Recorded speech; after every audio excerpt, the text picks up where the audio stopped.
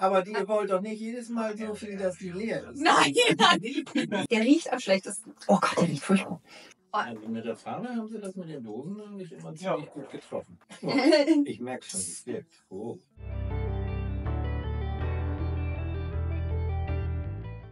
Hi, ich bin Nati und willkommen zurück auf meinem Kanal. Und willkommen zu diesem neuen Taste-Test. Wir testen heute alle Gönnergy-Sorten. Und ich glaube, danach fliegen wir. Heute hat sich hier der Familienrat versammelt, würde ich mal so sagen, an diesem wunderschönen Samstagmorgen. Und ja, für einige geht es danach wieder zur Arbeit. Mhm. Ist vielleicht auch dann ein ganz guter Doping-Schuss, ne? Ja, werden wir sehen. Und zwar haben wir hier wirklich also die ganz alten Sorten und die ganz neuen Sorten. Und wir haben hier so ein bisschen die Fraktion täglicher Trinker. Okay, das klingt übrigens jetzt falsch. Ehrlich gesagt, das klingt jetzt falsch. Regelmäßig. Gelegentlich. Gele gelegentlich. Und nennen wir es lieber nicht Trinker, sondern Genau. Genießer. Gelegentlich. Die, die die nicht so gut ab kann, weil sie dann hyperaktiv wird, aber die eigentlich sehr gerne mag. Mag die eigentlich gerne, aber will es nicht zugeben. Ja, kann man so sagen. genau. Aber ich, ich würde sie mir nicht kaufen. Also, Und der, der sie nicht mag. Fakt. Punkt. Ja. Deswegen bin ich sehr, sehr gespannt. Ja, ich würde sagen, wir fangen mit den alten Sorten an und tasten uns an die neuen. Von alt nach neu? Von alt Nach nach neu. Muss man die so, muss man das machen? Nee. Nee. Also, warte mal. Bei dem hier was. warum? Bei den Schildern. Was ich gerade geschüttelt habe. Hast du die schön, schön Eis gekühlt? Nee, die sind nicht richtig. Also die sind Also, einigermaßen also im Kühlschrank. Raumtemperatur. Raumtemperatur. Aha. Die Soll ich die? Die sollen ja eigentlich, eigentlich Sie sollen eisgekühlt laut sein. dem Produzenten sollen die ja eisgekühlt Ich wollte gerade sagen. Also theoretisch steht der Kühlschrank hier hinter uns. Wir können quasi den gerne noch ein zweites Mal machen. Sonst wenn wir jetzt eisgekühlt machen wollen. Nee, alles Aber ich habe halt. Ich glaube, das Jetzt ist neu. Mozzarella von Galvani. Jetzt geht's schon. Ich, ich, ich glaube, das ist sowieso ziemlich latte. Entweder schmeckt der oder nicht, dann schmeckt der auch warm. Ich wollte gerade sagen, eigentlich. Sieht Moderat. fast so aus wie die Dosen. Oh ja. Oh, wunderschön. Oder hier, was ist denn das hier eigentlich? Strawberry Cheesecake, glaube ich, ne? Hier. Soll ich dir einschenken? äh. Hast du schon erwähnt? Machen wir mir auch nicht so viel. Hast du schon erwähnt, dass die alle zuckerfrei sind?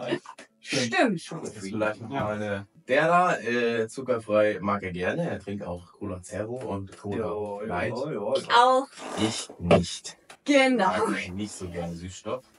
Auch so was bei den anderen äh, Energy-Sorten angeht, Red Bull und sowas, ist Süßstoff nicht so mein Fall. Ich habe gehört, wir sollen schnell reden. ich habe das Gegenteil davon. Ey, ich hätte euch nicht einladen. Okay. Prost, meine Freunde. Ja, und so ist. Ach, finde ich geil. Erinnert mich so ein bisschen an so eine Brausetablette, die man im Wasser aufgelöst hat. Also Kohlensäure ist da drin. Mhm. Auf jeden Fall. Ich glaube, wenn das dann richtig eiskalt ist, ist das vielleicht richtig gut. Ich mag den auch. Hätte ich ehrlich gesagt nicht gedacht, weil ich Raspberry Cheese, Raspberry ist das übrigens, nicht Strawberry Mhm. Cheesecake. Kuchengeschmack finde ich als Getränk komisch. Aber das ist lecker. Das ist lecker. Ja, Das kann man Das ist süß, ja. Ist Ja, süß. Süß ist Ja, er. Viermal Daumen nach oben. Ja, Viermal ja. Würde ich sagen, der kriegt einen Ja. Daumen nach oben. Ja. Next. Ich merke schon, es wirkt. Oh. Wie viel Essen ist da so viel drin? Ne. Umdrehung. Ach, die alten Leute hier immer, ne? Tropical Exotic. Ich finde Tropical ehrlich gesagt richtig geil. Also, oh, der riecht auch geil. Ui. Ui. Ja. Dann kommt dann die, Tropical. die, die Palme kommt dann schon. Das ist ja mal chinesisch. Ja, komm, da hast du gar nicht Da ist sogar eine Palme drauf. Ja. Na dann. Ja, Prost. Ja, ich mag Tropical. Nee. Doch, ich finde das auch okay. Aber da ist nicht so viel Kohlensäure drin, oder? Und weniger süß, hätte ich Ja. gesagt. Ja. Nö. Das, das der erste ist besser. Ja. Also der, nö. Nö, nö, nö. Nö. Ich finde ihn gut, muss ich ganz ehrlich sagen. Der kriegt so. So. ja, genau. Okay, eher nach unten. Eher nach unten. Aber ich bin bei dem hier sehr gespannt. Blueberry Also der ist ein Coconut. bisschen säuerlich, glaube ich. Im, wenn du das Ja. so ein ganzes Ding von Aus Das stimmt. Dann löst sich die Magenwand auf, das sag ich dir. Dann brauchst du erstmal ein paar Säureblocker, um das wieder zu. Das kann sein. Das ist aber bei Tropical. Ja, da bin ich mal gespannt. Ja, dann haben wir für uns. Der, Alter. Profi. Ja, Profi. Ich. Oh Gott. und der, Der ist schon echt krass. Oh, das ist, oh, da ist Kokos mit drin. Das habe ich schon an der Farbe gesehen. Gott, Die haben immer die Farbe. Ja, das ist schon so abgestimmt, ne? Mit der Farbe auf die Dose. Ich mag auch ja, gerne ich mag das schon, aber. hm. als Getränk. Der riecht am schlechtesten. Oh Gott, der riecht furchtbar. Ich finde, der riecht sommerlich. Also der riecht besser als Tropical. Nein, so, Nee. Frost jung. so wie die, die Sonnencreme am Strand. So. Sommer. Man kennt das einfach mal. Ja, dann. Der schmeckt nicht so intensiv, finde ich. Künstlich. Nachgeschmack, ja. Genau, mein. Ja. Genau das riecht der Rede. Nachgeschmack ist gut. Als würde man mehr mit dem Künstlichen. Das Diesen künstlichen Effekt finde ich aber auch immer beim, beim Süßstoff. Ja. Ich, also ich schmecke beim Süßstoff halt immer dann. Okay, wenn man da generell. schmeckt für mich dann eher künstlich. ui, das ist Besser als Tropical in meiner Meinung. Nein. Nee. Aber. Bin ich auch nicht. Der, der, der, der geht schon ein bisschen nach unten. ja, der ist so. Boah, also den weiß ich nicht. Wenn ich davon. Ja, Okay. Also Ist solide für Kokos. da ist der goldene Pinögel oben das Beste drin. Gut, alles klar. Ich finde, der schmeckt nicht nach Kokos. Das ist ein ganz komischer Kokosgeschmack. Ja, so irgendwie. ein Nachgeschmack. Ja. Next. Wir haben hier Sweet Lemon. Also die Farbe ist mit Abstand die geilste. Mhm. Muss ich schon mal Ja, sagen. ja. Sind du wieder Profi? Ja, Lemon ist Sprite, würde ich sagen. Mhm. Oder 7 Up. Sieben oben. wir sieben oben. Tasse. Der riecht wie eine Brausetablette. So Jo, aus ja. der Apotheke, Ja. diese Billo-Vitamintabletten. Aber, aber besser wie der, so vom Geruch her. Ja, das Ja, stimmt. kommt das. so, Attacke. Jo. Und den finde ich auch gut. Oh, das ist nicht schlecht. Der schmeckt wie Sprite. Zero Sprite. Ja, der schmeckt halt noch süßer vielleicht. Ist okay. Aber in meinen Augen, warum sollte ich Zero Sprite trinken, wenn ich auch normal Sprite trinken kann? Get it? Also Get it? daher, ähm, schmeckt nicht schlecht. Doch, der ist nicht schlecht. Ich finde den bisher am besten. Echt? Ja. Ach, krass. Aber ich mag's mal. Ich mach so. Ich auch. Ich auch. Der ist von der Süße her wie der Raspberry Mhm. Cheesecake, aber ich mochte den Raspberry Cheesecake irgendwie noch lieber. Ich weiß Ja. auch nicht. Den, das ist bis jetzt auch. Nebenbei will gesagt werden, wir trinken die nach dem Video natürlich alle noch aus. Ganz selbstverständlich. Hier wird nichts verschwendet. Ja, wir nehmen die auf den Träger mit. Müssen hab wir ich schon kloppen. gedacht. Genau. Los, kloppen, wer, wer, Welche Worte? Ich glaube, das kriegen wir einigermaßen hin. Allem hat jeder zwei dann, ne? Doch, schon wild. Ja, wie soll, man muss ja zwei Liter pro Tag trinken. Einen hat man dann schon. Wir machen weiter, würde ich sagen. White Peach. Kann ich mir auch gut vorstellen. Ja. Ist halt immer so Eistee mit Kohlensäure. Ja, genau das. Ist ja immer so eine Geschmackssache. Aber wenn Eistee, dann Peach, oder? Und nicht Zitrone? Ja. Danke. Wenn es jetzt schon mal den Polen geben. Entschuldigung. Sag mal. Hallo? Sag mir zu. Den haben. Der ist genauso vor. so. Ja, White Peach. Magst du gern Pfirsich? Ja, geht so.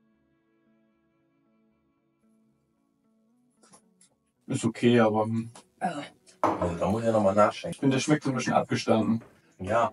Aber ich glaube, wenn der, Wenn der kalt ist vielleicht. der schmeckt, dann schmeckt der. Mhm. Das kann sein.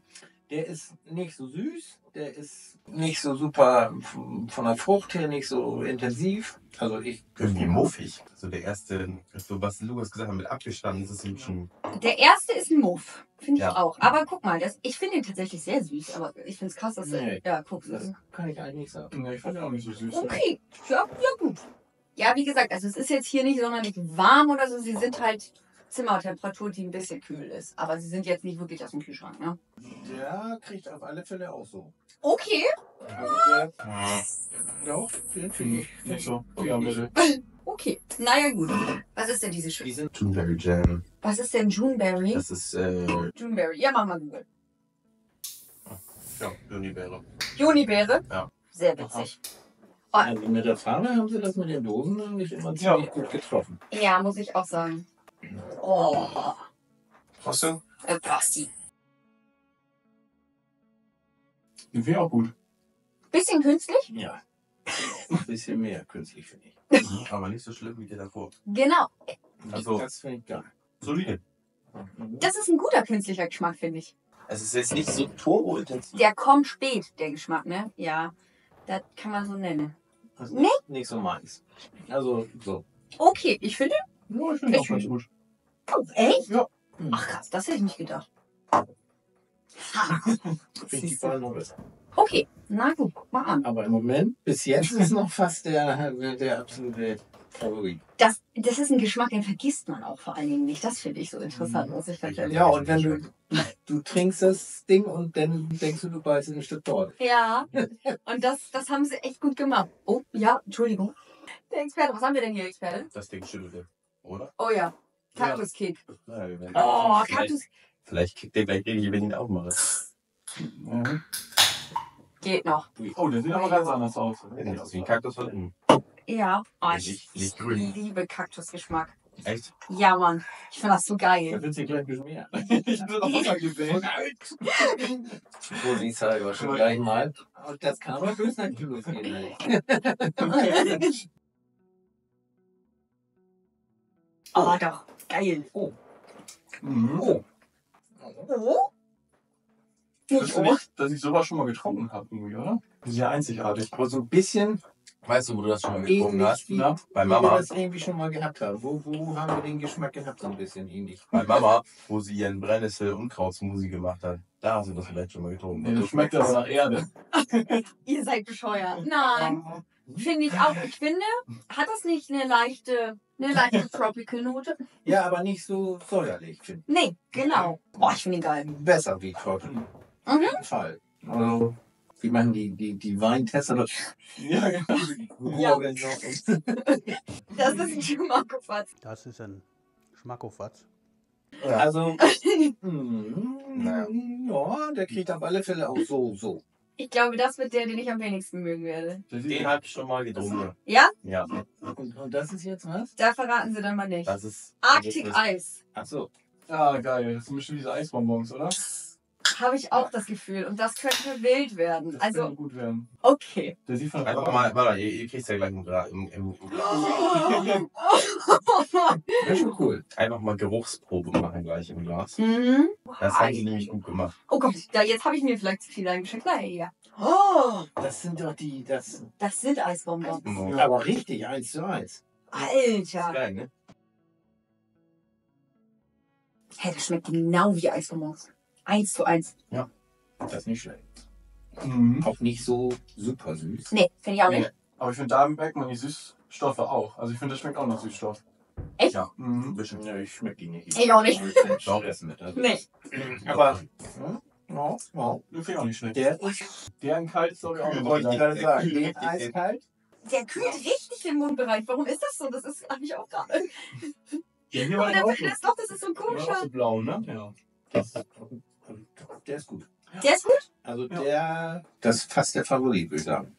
Mein Fazit ist, der ist Ja. eigentlich so, finde ich, vom. Also der schmeckt halt wie Sprite. Der ist am langweiligsten. Schmeckt der gut, ist aber Mhm. für mich nichts, weshalb ich mir einen Energy holen würde. Den finde ich auch gut, Mhm. hat nur ein bisschen wenig Geschmack. Für, also der war nicht so geschmacksintensiv auf meiner Zunge. Mhm. Deswegen ist der hier mein Favorit, weil der am wenigsten, weil die drei, die sind mir ein bisschen zu süß. Das ist zu doll Süßstoff, die drei ersten.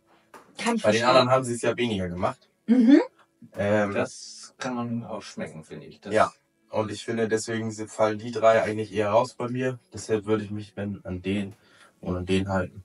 Und da ist der am geschmacksintensivsten und trifft am besten das, was so, also der trifft ja 100% das, was es eigentlich sein soll. Das ist gut beschrieben gewesen, ehrlich gesagt. Also ich würde den und den, die Die beiden beiden, außen. Mhm. die würde ich, ja, das kommt nach Tagesform, Ja, je nachdem. Die würde er kaufen und täglich Ja, konsumieren. Ja, kaufen natürlich nicht. Na, ja. Aber die, Abo. den kann man mal so, wenn man mal Bock hat, kann man den mal trinken. Und die beiden kommen dann, mhm. Genau, stimmt. die sind, die sind okay, die kann man, kann man auch mal sich geben. Dann kommt der Kaktus. Ja, und die anderen, die brauche ich gar nicht.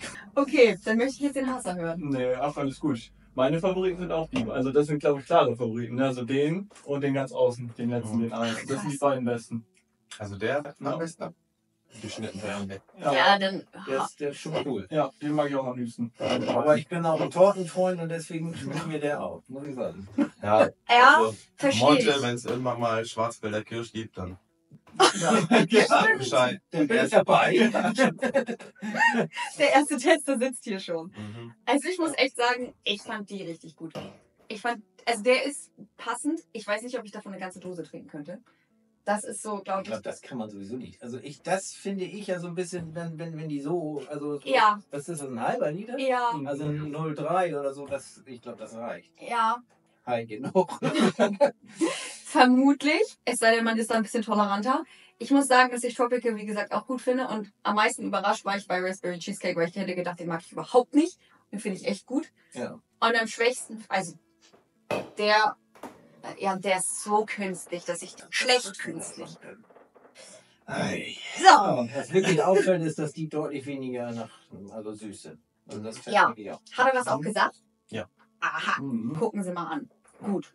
Und man muss dazu sagen, wie gesagt, wenn das jetzt alles noch gekühlt sogar noch besser ist, dann, ne, ihr könnt jetzt gerne mal in die Kommentare schreiben, ob wir jetzt hier volles Verbrechen gemacht haben, weil wir die nicht gekühlt haben. Mach ich. Aber könnte ich mir schon vorstellen, dass das Ja. ein bisschen Auswirkungen hat. Bloß man Glaub hat ich auch. natürlich auch. nicht immer einen Kühlschrank im, im Auto oder wo man das Ding gerade hat. Nein, ich wollte gerade sagen, und Also, ich hatte das hier jetzt auch Die müssen auch vorbereitet. so schmecken. Das finde ich eigentlich auch. Ich Von muss daher- auch sagen. Habt ihr keinen Kühlschrank im Auto? Guck mal gerade hier. Flex. Ich muss das, wie gesagt, auch sagen. Ich finde, für so einen Taste-Test ist es einfach wichtig, dass die, die müssen eigentlich auch warm schmecken. Dass die Ja. gekühlt besser sind, das glaube ich auch. Die stehen doch auch im Laden, nicht in der, in der Kühltheke, oder? Nein. Ja, Das kommt auf den Laden Teils, noch an. teils, ja. ja. Kommt auf den Laden noch an. Also du kannst ja auch ein Kühlregal haben. Aber das Ja. ist, denke ich, Grundvoraussetzung. Sowas muss auch normal schmecken. Finde ich Also, eigentlich das- auch. Bin ich auch der Meinung. Wenn du da nur gekühlt, dann läufst du immer mit, mit dem Kühltasche rum und so ein Ding. Doch, das stimmt. ist ja kein Tee. Also ich glaube, dass die alle noch kält, kälter noch besser schmecken, beziehungsweise ich, Anders, ja. anders. Ich glaube aber nicht, dass die Sorten, die ich vorher schlecht finde, schlecht, dass sie mir dann besser schmecken. Also Aber mein Empfinden, also meine Erfahrung ist mit, schwer zu beschreiben, dass sie dann intensiver sind. Mhm. Also der Geschmack ist klarer rauszuschmecken. Ich finde, wenn du zum Beispiel den, jetzt kann ich es wieder nicht aussprechen, Acai. Red Bull, Acai. Mhm. Acai, Mhm. das dann, äh, also den, der in warm schmeckt so schwammig und einfach süß und in so richtig schön gekühlt schmeckt der einfach, schmeckst du genau diesen Geschmack raus. Das kann Also ich kann ich mir das vorstellen, dass es zum Beispiel bei dem hier viel bringt, wenn er Ja. kalt ist. Und vielleicht sogar bei dem, aber den mochtet ihr alle nicht. Ich fand den eigentlich ganz okay. Den Die Blueberry. Ja, guck, das ist da. Guck, Da könnte ich mir vorstellen, dass es da noch besser ist. Ja, bei dem. Aber, Okay. aber ich finde, die Grunddinge, ob Süße oder Säure oder was weiß ich, ich glaube, das bleibt ziemlich gleich. Mhm. Es könnte sein, dass die, kalt oder nicht kalt, denke ich Mhm. mal. Also, der Süßstoff könnte also warm der werden. wirst du trotzdem noch einen Unterschied schmecken, dass die süßer sind als die. Ja. Mhm. Aber Ja. ich weiß auch nicht, wie es das mit dem Süßstoff findet. Naja, gut. Ich denke, ihr habt die wahrscheinlich auch alle schon probiert, weil zugegebenermaßen sind wir natürlich jetzt hier nicht äh, gerade up to date, aber außer er, grundsätzlich. Hallo, hallo.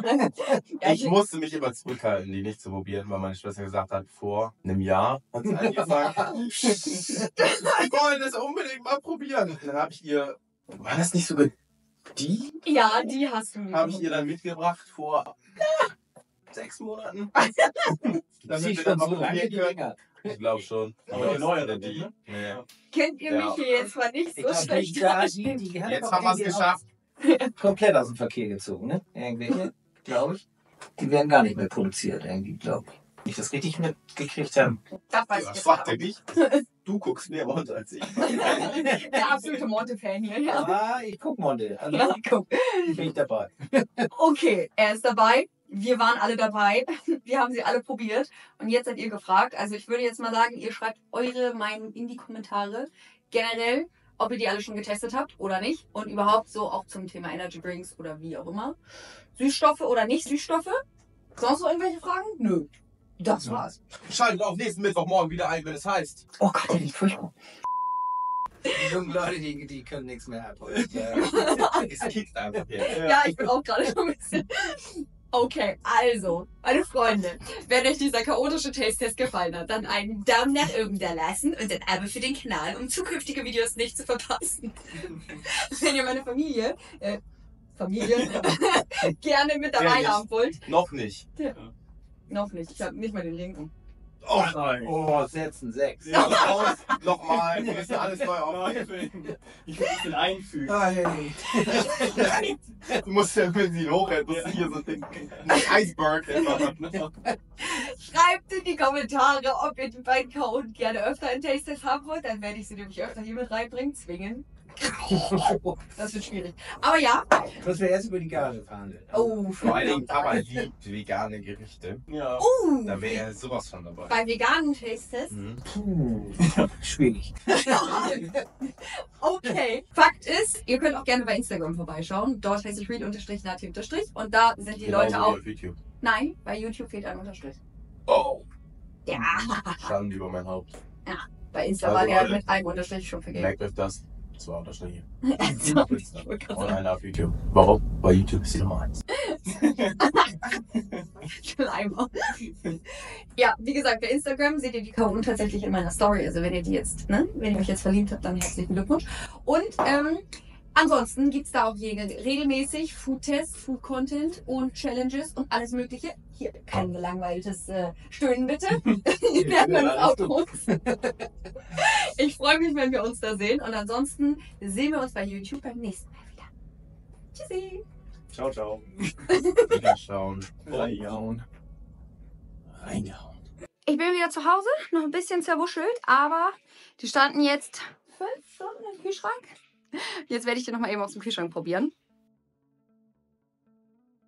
Raspberry Cheesecake schmeckt immer noch einfach geil.